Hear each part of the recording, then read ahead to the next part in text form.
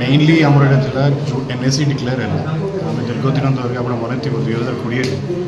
নবীন পট্টনায়ককে আমি অনুরোধ করলু বরিগুমা মনিউডা বিশমকটক জেকেপুর চান্দলি জিও আছে তাকে এন এস সি ঘোষণা করা যা আসলা আমি সবু জনসাধারণ বহুত বহুত শুভেচ্ছা অভিনন্দন জনাওছু আর সরকারকে বি ধন্যবাদ দৌছু পদমপুর যে এন এস সি আমি দাবি করে আসু সেটা হয়ে পারলানি তাপে আম এই প্রেসমিট মাধ্যমে আমার ডিমান্ড রহল মাননীয় মুখ্যমন্ত্রী কি পদমপুরকে বি এন এস সি যথাশীঘ্র ডিক্লেয়ার করা સત્તર દિવસો રહેલા જોડિયાકો આદિવાસી માન્યતા દાબી સો જોડિયાકો આદિવાસી માન્યતા દાબી આમે બારંબાર ઉપસ્થાપન કરીઆસી પાર્લામેન્ટରେ ଓଡ଼ିଶାରେ ଗୋଟେ ବିଲ୍ ଆସିଲା ଯେଉଁଠି ତ୍ରେପନଟା ଜାତିକୁ ଆଦିବାସୀ କରିଲେ ସେଇ ଭିତରେ ଝୋଡ଼ିଆ ଜାତି ହେଇପାରିଲାନି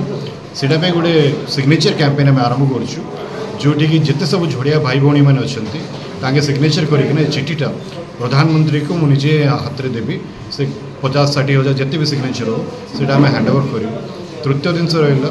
जो सोहरा सोहरा जो भाषा अच्छे जो लिपि अच्छी ताकू एई शेड्यूल ऑफ द कॉन्स्टिट्यूशन रे केमती इंक्लूड करा जाओ बोली तापे भी गोटे सिग्नेचर कैंपेन चलिबो जोटी कि जेते सब सोहरा भाई भौणी मैंने अच्छे ताके सिग्नेचर करेंगे झड़िया जो सिग्नेचर कैंपेन और सोहरा सिग्नेचर कैंपेन यहाँ व्यक्तिगत भाव में इलेक्शन कोड अफ कंडक्ट पूर्व मु प्रधानमंत्री को भेटिकिना हैंड ओवर करी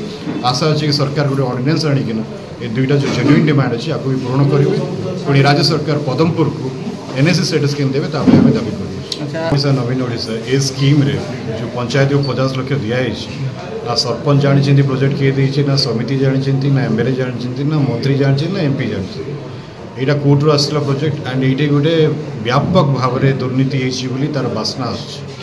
ଆପଣ ଯେଉଁ ବୁକଲେଟ୍ ବାହାର କରୁଛନ୍ତି ଆମ ଓଡ଼ିଶା ନବୀନ ଓଡ଼ିଶା মনিগুড়ারে গোটে লোক সে কিডনি ট্রান্সপ্লান্ট হয়েছে ভুবনেশ্বর বলে তার গোটে সে বুকলেট বাজি সে কেবে ভুবনেশ্বর যাইনি না এই কিডনির কিছু অপরেশন হয়েছে পদমপুর মাতলি পঞ্চায়েত হনুমান মন্দির আর ঠাকুরাণী মন্দির রিপেয়ার করছেন বলে তাকে সে বুকলেট বাহার করছেন এটা টিপ অফ দ আইসবর্গ ବହୁତ ଦୁର୍ନୀତି ହେଇଛି ଆଣ୍ଡ ଏଇଟା ନିହାତି ଭାବେ ଆଜି ନହେଲେ କାଲି ତାଙ୍କୁ ଧରା ପଡ଼ିବେ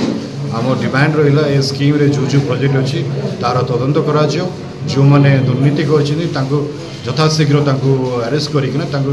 ଠିକ୍ ଜାଗାରେ ଠିକ୍ ସ୍ଥାନରେ ପହଞ୍ଚାଇବା ଦରକାର ଅଛି ଏଇଟା ଆମ ଡିମାଣ୍ଡ